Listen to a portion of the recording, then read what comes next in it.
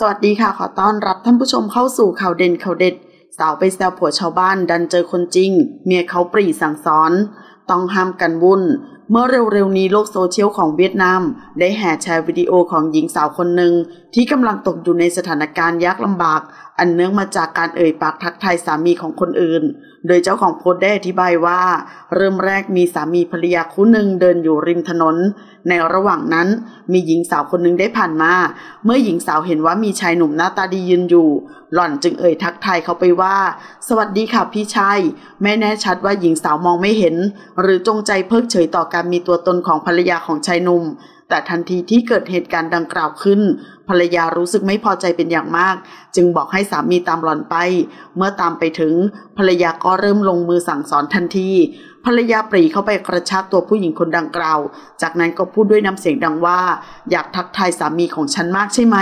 พร้อมกับใช้มือฟาดไปที่หญิงสาวไม่ยัง้ง